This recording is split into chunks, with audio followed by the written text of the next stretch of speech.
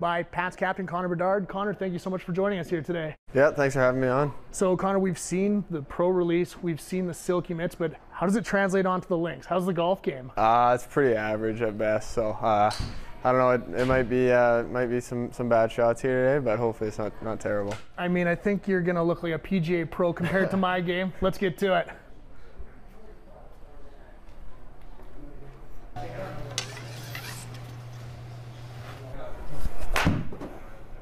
So Connor, you got your start skating at a really young age, but what's your youngest hockey memory? Yeah, I think probably you know first time I went out, I remember I didn't like it at all. It was you know kind of power skating stuff, so you know a lot of people don't like that as much as shooting and stick handling. And then uh, you know I remember kind of going out by myself and with a puck and and uh, you know kind of just fooling around, and that's kind of when I fell in love with it. Oh.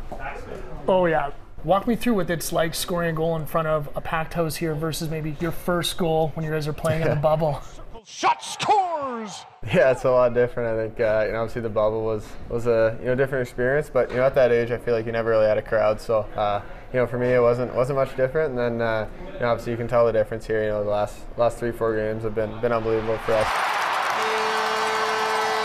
The turnouts we've gotten, and you know it's a lot of fun to play in front of them.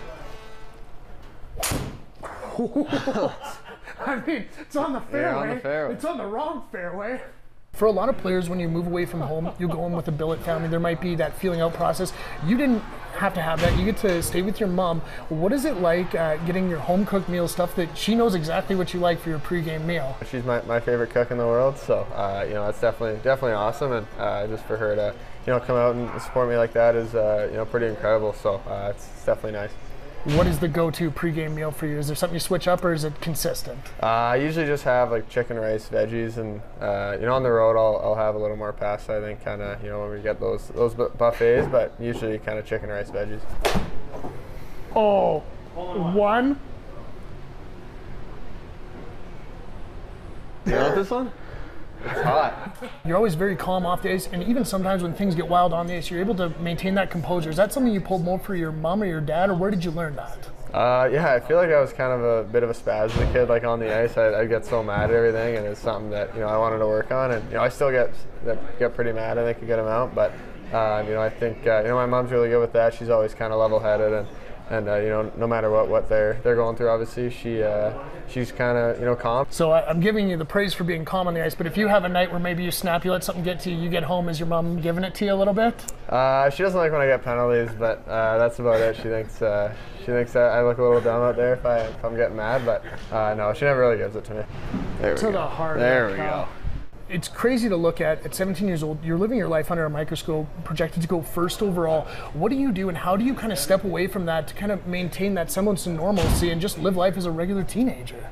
Uh, yeah, I think you know normal things like you know when I'm home for, for summer, obviously you go you go see your friends and, and do that sort of thing. And obviously, you know when you're here, you're, you're with your teammates every day, so uh, it's a lot of fun. And you know, obviously we're hanging out and doing stuff. And uh, you know for me, I just uh, you know I don't think about it like like that. I just kind of try to live my life and uh, and obviously enjoy it. But this one you would have got 20 on it. So you guys are on the stretch run, heading towards the playoffs, and you've got mid-season golf game in form with an absolute wax and break down the shots, Connor. Yeah, well, I mean, I was I was on my game. I came prepared, and uh, you know, you uh, obviously got lucky that you didn't have to finish a hole. So uh, I'd say definitely a win for me, and I'm pretty happy about it. Connor, thank you so much for taking your time, and best of luck the rest of the season. Thank you. That's it for another edition of Perds versus Pats.